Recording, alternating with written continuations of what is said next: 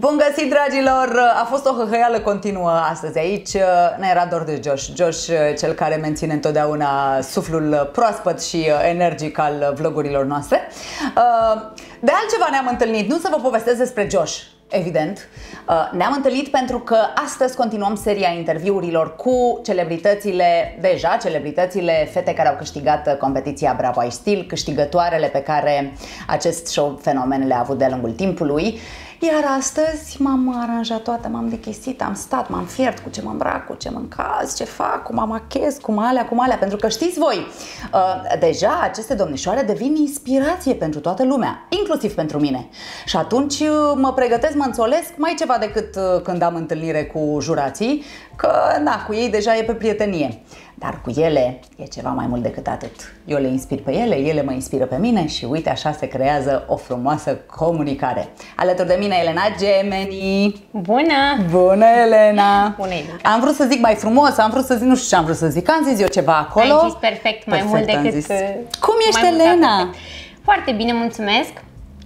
Mă foarte bucur bine? că te văd, da, mă bucur foarte mult că m-ai invitat și pe mine să fac parte dintr-unul dintre episoadele vlogului tău. Cu drag!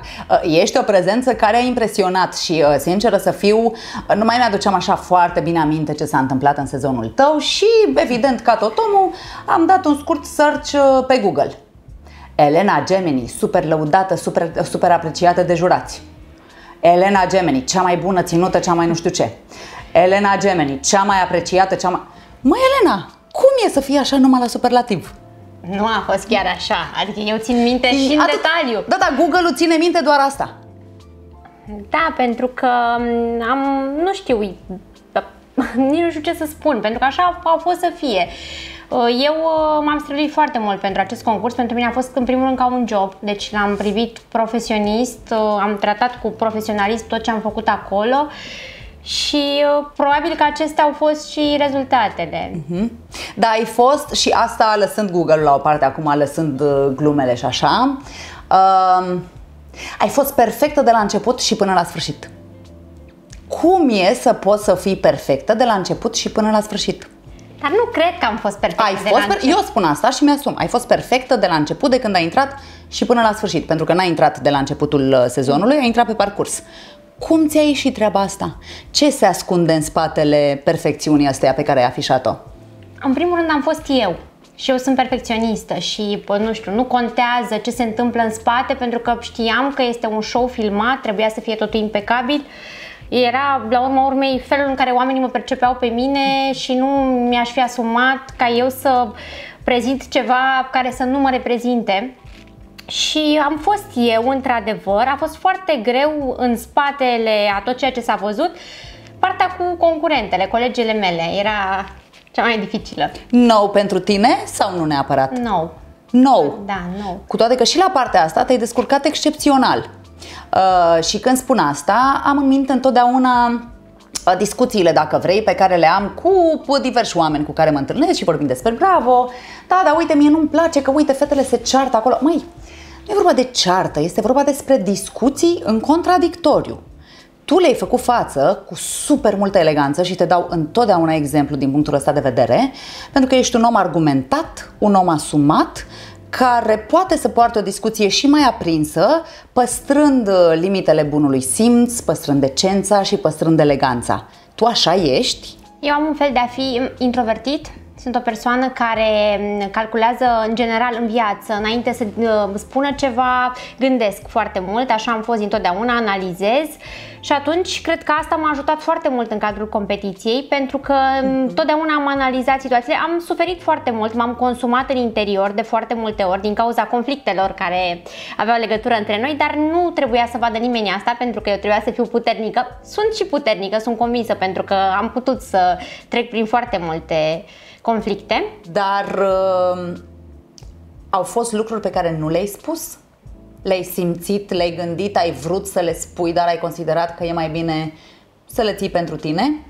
Pentru că îmi spui că ai suferit foarte mult. Până la urmă am spus tot ce am avut pe suflet, adică vedeam o situație, mă deranja, trecea puțin timp, o analizam și mă gândeam cum să o prezint astfel încât să nu jignesc pe nimeni, dar am, mi-am dorit întotdeauna ca oamenii de acasă să știe ce se întâmplă între noi. Uh-huh. Erau niște discuții referitoare la încălțăminte, țin minte, la îmbrăcăminte, pentru că fetele nu puneau accentul pe calitate, nu le păsa, pe cameră se vedeau foarte bine, telespectatorii credeau că ele își dau silința, dar de fapt lipeau un scoci sau făceau tot felul de lucruri care pe mine mă deranjau, care eu stăteam și umplam până la 11 noaptea după o pereche de pantofi potriviți pentru ținuta mea. Uh-huh. Și s-a văzut asta, tocmai de aceea ai fost super apreciată în, cred, 90%, poate și mai mult, uh, dintre edițiile în care tu ai fost prezentă și ai prezentat ținute. Care concurentă ți s-a părut uh, mai puțin pregătită pentru acest show, însă, exact așa cum ai spus și tu, în fața camerelor, uh, un pic cosmetizată? Cred că toate fetele au jucat un rol, cred că acesta poate este și secretul. Cred că eu așa am câștigat, eu nu am jucat un rol și cred că asta este cel mai important, pentru că oamenii simt, pentru că pe mine în perioada competiției mă opreau oamenii să-mi spună că apreci... deci am auzit mai mult complimente pentru felul meu de a fi decât pentru ținute. Uh-huh. Și atunci Cred că nu au fost ele și s-a văzut, pentru că au jucat roluri la un moment dat, competiția durând o perioadă destul de lungă de timp și filmându-se într-un stil mai uh, agresiv, ca să spun așa, Până la urmă, asta a fost în dezavantajul lor, pentru că s-a văzut cine sunt, pentru că sub presiune nu mai poți să te prefaci, nu poți la infinit. Tocmai. Cel mai multe discuții, dacă mi-aduc eu bine aminte, sper să nu greșesc, au fost între tine și Corina. De ce? Pentru că eu cred că dintre toate celelalte concurente, Corina și-a dorit enorm să câștige. Ea nu concepea să nu câștige. Deci ea tot timpul vorbea doar despre câștig. Ea nu, se, ea nu își dorea atât de mult să evolueze în competiție sau așa am simțit eu. Mm-hmm. Sau să arate ceva cuiva, ea își dorea premiul.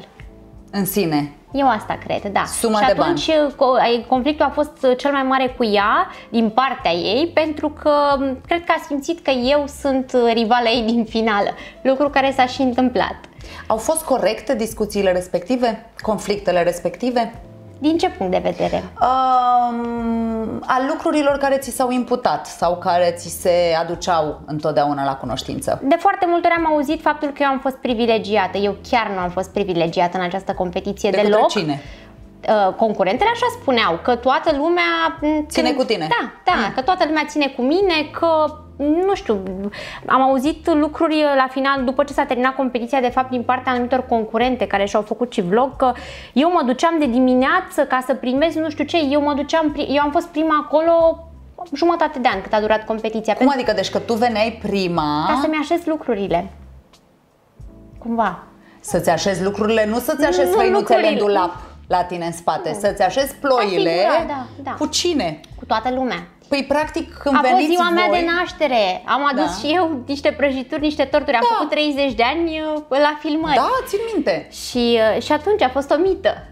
Tot timpul era o, o problemă, eu orice făceam era o problemă. Eu dacă vorbeam cu cineva, eu m-am înțeles foarte bine cu toată lumea de acolo, nu știu, de la doamna care făcea curățenie până la oricine. Uh-huh. Pentru că cumva mie îmi plac oamenii foarte mult și îmi place să mă înțeleg bine cu oamenii și îi respect și atunci primesc același lucru. Și ele au considerat asta, evident, că ca fiind un avantaj. Crezi că n-au știut să piardă și atunci uh, au preferat să își găsească această uh, motivație sau acest exemplu? Știi de câte ori am auzit că nu mă interesează cine câștigă, numai să nu câștige Elena din partea lor? Ele și-au dorit foarte mult ca nu eu pot să, să cred. nu câștig.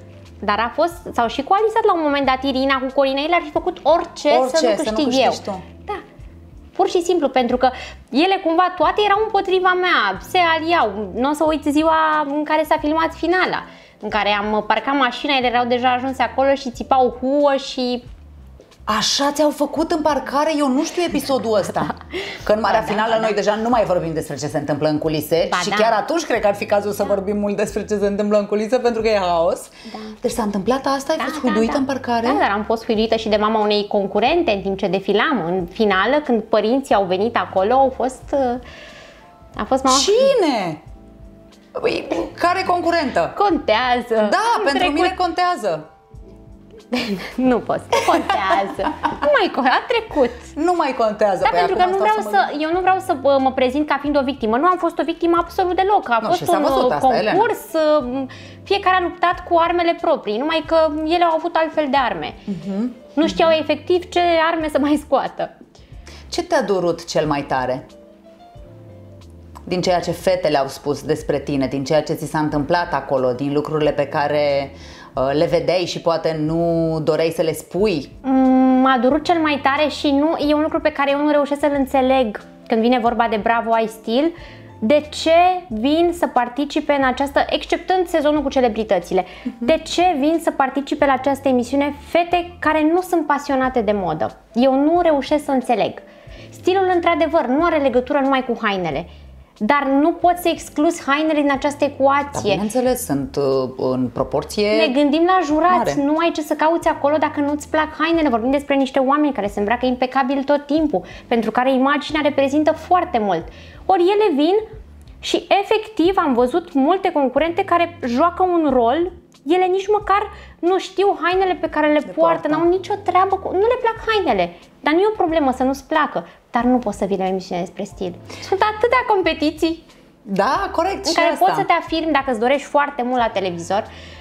Doar că Bravo este una extrem de la îndemână, ca să zic așa, știi? Pentru că până la urmă toată lumea se îmbracă, bine sau prost, dar toată lumea se îmbracă și atunci te gândești, dar de ce să mă, să mă chinui, să cânt, să dansez, să ce știu ce alte competiții sunt, să gătesc, să fac ce știu ce să fac, când pot să mă, să mă îmbrac. Și uite, mă îmbrac frumos și uite rampă de lansare și uite, uite ce se poate întâmpla, știi? Apropo de stil, apropo de haine, uh, au fost multe discuții uh, legate de bani. Da. Foarte Ești o fată bogată, Elena? Departe de a fi o fată bogată, sunt un om care uh, își dorește foarte mult. Întotdeauna mi-am dorit să evoluez, întotdeauna mi-am dorit să ajung undeva. Provin dintr-o familie mai mult decât modestă, mi-am depășit condiția, așa consider eu, până la vârsta mea. Și diferența dintre mine și multe alte persoane, eu cred că banii nu au legătură cu moda, dar eu am investit atât în emisiune cât investesc în imaginea mea și banii pe care nu i-am și am spus întotdeauna asta. Pentru că asta îmi place, pentru asta mă sacrific, orice bani am avut l-am investit în haine, în mine, în ținute, despre asta e vorba. Ceea ce se vede. Și cred că ăsta a fost și principalul uh, motiv pentru care tu ai reușit să câștigi inimile celor de acasă, să te voteze în uh, procentul în care te-au votat. Este nevoie de bani pentru a avea stil, pentru a fi la modă, pentru a fi un exemplu, pentru a fi un om care influențează pe ceilalți? Ai nevoie de bani să te îmbraci bine și frumos? Fără bani clar nu poți să faci nimic. Trăim într-o lume în care totul trebuie cumpărat. Trebuie să ai bani, dar nu, nu vorbim despre sume aici. Nu contează ce sumă ai Categoric trebuie să ai un buget să mergi să-ți faci cumpărăturile, să-ți iei haine. Dar te poți îmbrăca de oriunde foarte bine dacă știi să porți și dacă îți alegi hainele potrivite pentru tine, pentru corpul tău, pentru personalitatea pe care o ai, dacă îți scoți în evidență calitățile și ți ascunzi defectele. Uh-huh. Tu ai acest talent născut sau l-ai studiat, l-ai învățat? Și l-ai șlefuit de-a lungul timpului? E o întrebare pe care și eu mi-o pun foarte des. Nu știu să răspund la asta. Cred că este ceva în mine, pentru că din totdeauna, nu știu, de mică am analizat oamenii. De fapt, cumva pasiunea pentru haine are legătură și cu pasiunea mea pentru oameni. Eu iubesc oamenii foarte mult, îmi place să mă uit la oameni, să văd oameni și cumva să-i văd pe toți în cea mai bună variantă a lor și atunci mi se pare că hainele te pot ajuta să faci asta. Și atunci da. Uh, văd legătura dintre haine și oameni și personalitate. Și, de exemplu, nu știu, când vezi, te duci la mall tu și vezi fete care nu sunt îmbrăcate așa cum ar trebui să fie îmbrăcate pentru vârsta lor, pentru aspectul fizic uh, și aici mă refer la forme sau mai știu eu. Ce părere ai? Îmi pare cum rău. Vezi? Îți pare rău? Da. Îți vine să te duci să le tragi de mânecă? Da, că ar veni la mine, le-aș ajuta pe toate cu cel mai mare drag, oricând pentru o lume mai frumoasă. pentru o lume mai frumoasă și mai stilată. Uh, Elena, au fost momente în care te-ai simțit nedreptățită și aici mă refer, uh, nu știu, echipă, jurați, poate au fost comentarii care te-au uh, durut la momentul respectiv, pe care poate nu l-ai înțeles. Niciodată nu am simțit că una dintre concurente este privilegiată sau că are alt tratament. Asta e departe de adevăr, nu există în acest, nu știu, în sezonul meu nu s-a întâmplat așa ceva. Dar, într-adevăr, m-am simțit nedreptățită din cauza faptului că nu aveam anumite abilități nu știu, talent artistic, îmi lipseau cu desăvârșire, nu dansam bine, nu, ah, okay. nu mă prezentam cum te... Galele. Pentru mine când veneau galele, adoram emisiunea până la gale. Până la gale? Da. Deci nu mai puteai să dormi deci noaptea? Galele te era un perpele- chin pentru mine, efectiv. Un chin? Da. Păi din câte mi-aduc eu aminte, ai strălucit în foarte multe gale.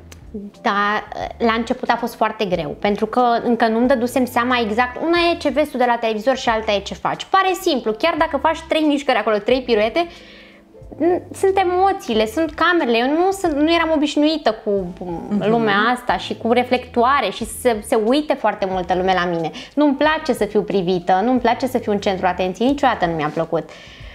Deci nu mă simt confortabil când știu că se uită foarte multă lume la mine pentru că simt presiune pe mine. Presiune. Da, pentru că trebuie să fiu perfectă. Și atunci, automat, sunt tot timpul în gardă. Ce tare te înțeleg! Așa, și ți-a venit cumva peste mână sau uh, dificil să poți să construiești toate momentele din gale, cu atât mai mult cu cât din gale, cu atât mai mult cu cât uh, deja spre final, competiția fiind din ce în ce mai strânsă, trebuia să faci din ce în ce mai mult, să-ți depășești din ce în ce mai tare Dar m-am limitele. adaptat și am învățat și am, am reușit să trec peste multe dintre problemele pe care eu le aveam, am lucrat foarte mult la mine, am evoluat. Cred că oricare concurentă vine, la orice fată care vine concurentă în această emisiune, nu are cum să nu evolueze, nu ai cum. Pentru că ești obligat să faci niște lucruri, să ieși din zona ta de confort și să te adaptezi. Și cât de cât spre final m-am obișnuit cu galele. nu pot să zic că începuseră să-mi plac, finala mi-a plăcut foarte mult. Și mie mi-a plăcut. Țin minte finala aia, doamne, țin minte rochie albă, țin minte microfonul, țin minte, nu mai știu ce piesă era, ceva în italiană, ceva oricum, nu?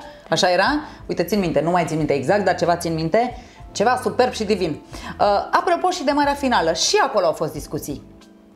Cu o rochie copiată, cu un playback de nu știu care. Cât ai muncit pentru ținuta și pentru momentul respectiv?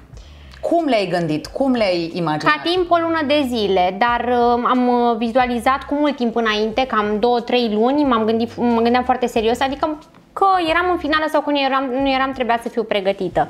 Și uh, m-am gândit foarte mult.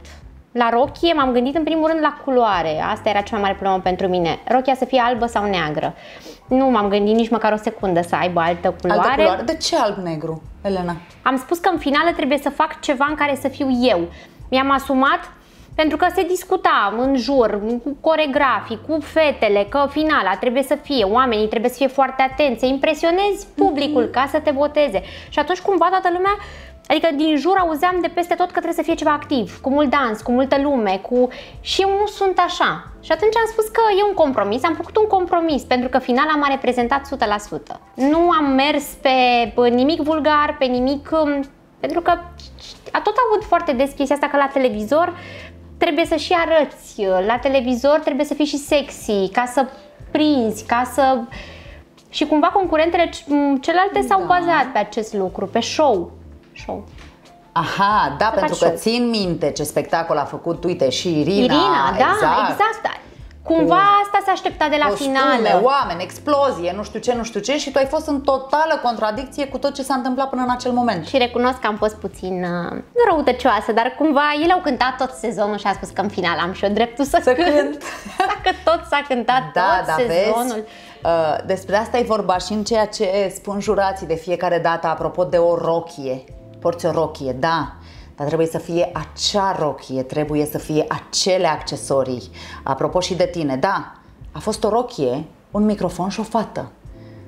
Dar melodia a fost perfectă, rochia a fost perfectă, trăirea a fost, trebuie contextul, să se emoția. potrivească totul, da, și m-am gândit, dacă aș fi cântăreață, cine aș fi? Cu siguranță Celine Dion. Nu știu de ce. Celine Dion acum sau Celine Dion în urmă cu 20 de Acum, ani? Că acum. acum da. Acum. Vezi ce și înseamnă? a evoluat ca toată lumea. Vezi ce înseamnă? Da. La maturitate mi se pare că poți atinge apogeul. Așa crezi? Da. Eu cred că l atingi acum.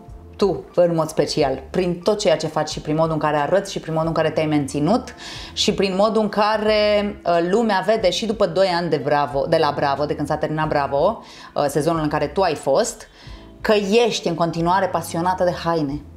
Doar despre asta ne vorbești, doar asta faci, doar asta arăți, pentru că îți place și se vede că iubești să faci asta.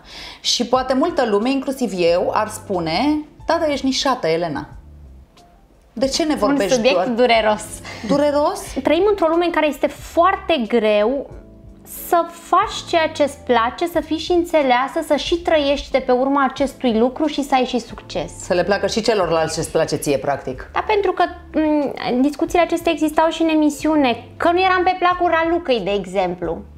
Da, te place toată lumea, da, știu, ești bine, da, eu m-am săturat, da, da, dar ești plictisitoare. Un bărbat, chiar la un moment dat a făcut această remarcă, un bărbat o să se plictisească de tine întotdeauna sunt lucruri pe care nu le-am uitat, sunt lucruri pe care le-am ținut minte. E clar că te-au afectat, da. M-au afectat, dar cumva au rezonat cu ceva din mine, deci e clar că există puțin adevăr acolo și am încercat să mă gândesc cum pot să evoluez, să, da, exact, uh-huh. să schimb ceva acolo, pentru că aveam dreptate în multe puncte de vedere, dar um, e foarte greu pentru că când faci cu pasiune, când îți place ceea ce faci și când te cunoști foarte bine, nu prea poți să renunți la tine ca să fii comercial. Și nu prea îți place să faci compromisuri pentru a fi comercial și pentru a fi pe placul tuturor. Dacă aș face un compromis, dacă eu aș promova o rochie în care nu cred, doar pentru că am primit o sumă de bani, în primul rând n-aș putea să fac asta. Nu pot să spun despre un produs care nu-mi place că îmi place, când vorbim despre haine strict. Mhm. Deci nu pot. Eu nu pot să port ceva care nu-mi place. Am încercat la un moment dat să pozez. Eu și cu designerii cu care am colaborat, eu mi-aleg hainele din colecțiile lor. Deci am avut libertatea asta întotdeauna. Dacă mi se impune să pozez tot, nu pot să lucrez. Nu pot să port hainele care nu-mi plac. Pentru că nu le simți. Da. Și atunci e, e o problemă aici. Și nu e vorba că nu mă adaptez. E vorba că știu că uh, pentru mine rochia aceea nu are succes. Nu o văd. Nu, nu. Um, eu cred că drumul tău, Elena, se va elibera așa foarte bine și foarte frumos și chiar dacă, pă, nu știu, succesul ăsta fulminant, nici nu știu ce înseamnă succesul ăsta fulminant, habar Îl trăiești. da? Cred că da. Din exterior, da, eu așa văd, pentru mine ești o persoană de succes și asta nu are nicio legătură nici cu periatul, nu sunt genul, dar da, tu ești un exemplu dintre persoanele publice de la noi, care sunt foarte puține, cred că le numeri pe degetele de la o mână, tu ești un exemplu. Mulțumesc mult, dar știi ce vreau să spun? Fac de 16 ani treaba asta. Și abia acum în ultimii, hai să zic 5, zic mult 5, hai să zic trei. În ultimii trei ani de zile am reușit să mă bucur de succes. Dar ești tânără, timp ai, forță și putere sunt convinsă, pasiunea și focul nu o să piară niciodată. Aici voiam să ajung. Chiar dacă drumul e un pic mai greu, cu timpul, cu timpul, ușor. Trebuie să ai răbdare. Consecvență, determinare, liniște și frumusețe, eleganță, exact așa cum ai obișnuit și sunt convinsă că la un moment dat se întâmplă și lucrurile care trebuie să se întâmple. Uh, o ultimă întrebare mai am pentru tine, Elena. Ce ai învățat sau ce te-a învățat competiția Bravo ai Stil? Cât de mult te-a schimbat? Cu ce ai ieșit de acolo? Ce fel de om ai ieșit de acolo? În primul rând am cunoscut niște oameni extraordinari. În al doilea rând um, am învățat că pot orice, dacă, că nu-mi iese categoric într-un mod extraordinar, dar că pot. Um, cred că am învățat um, să, um, să mă las judecată, să mă las criticată și să nu mă mai afecteze atât de tare cât mă afecta înainte, pentru că nu poți mulțumi pe toată lumea și când ești perfecționist e foarte greu. Aș vrea să trăiesc și eu experiența asta. Eu încă uh, mă mai las afectată de răutățile oamenilor care vin din, habar n-am, nici nu vreau să zic, nici nu vreau să mă gândesc. Uh, și cred că genul ăsta de competiții, precum este Bravo, nu ai încotro. face asta. Nu ai, că nu ai încotro înveți, deci nu ai Dar încotro. tu știi ce e în spate de fapt? Ești extraordinar de puternică și curajoasă dacă ți-ai asumat să poți să vii în fața unor oameni care, ok, de cele mai multe ori te-au lăudat, dar care te-au și criticat, iar tu să accepti această critică, să o consideri constructivă și să încerci să faci și mai bine pentru data viitoare mi se pare asta legat și de tine și de toate fetele care au trecut uh, pragul bravo de-a lungul timpului. Eu nu cred că aș putea să fac asta. Adică zi de zi să mă întâlnesc cu aceiași oameni care să mă critique, care să-mi spună că nu e bine. Vorba ta, știi? Că nu am ce trebuie, că nu-s bune hainele. Efectiv, Dar ei se analizează. De asta te duci. Te duci să fii analizată, Iar să înveți, să evoluezi. de putere mare. Dar da. trebuie, pentru asta trebuie să știi la ce nivel te situezi tu și cred că de asta cel mai important în această emisiune este să fii tu. Pentru că dacă joci roluri ca să mulțumești pe cineva, că tot auzeam sau aud de-a lungul timpului, era Luca, pentru tine m-am îmbrăcat, Moris, pentru, pentru Cătălin. Fiecare fată țintește un jurat și încearcă să-l satisfacă mm-hmm. numai pe acela. Mm-hmm. Cumva eu mi-am dorit să ei, judecând diferit, pentru că fiecare avea alt criteriu, Sigur. Luca se uita la show, Moris se uita la cât de corect este ținuta, Cătălin cumva caută feminitatea, cred, și mhm. eleganța în fiecare femeie. Și atunci cumva trebuie să-ți dorești să-i mulțumești pe toți și să, să nu țintești doar un singur aspect. Iar asta poți să o faci doar dacă ești tu. Doar și dacă da. te simți bine în pielea ta și în ceea ce porți și în ceea ce faci acolo. Da. Da. Dacă ar fi să o iei de la capăt, te-ai mai înscrie odată în competiția asta? Mereu mă întreb lucrul acesta. Dacă m-aș mai înscrie odată, dacă nu aș fi fost niciodată, da. Dacă 100%. Nu, da. Dar în acest moment nu știu dacă aș mai face față. Mă întreb, mă de întrebam ce? când m-am uitat la sezonul trecut. Nu știu, nu știu, mă, chiar mă gândeam, aș mai putea să mai merg o dată știind ce se întâmplă și cât de greu este, dar cred că atunci iarăși aș gândi cu sufletul, nu cu creierul și aș aș spune că da.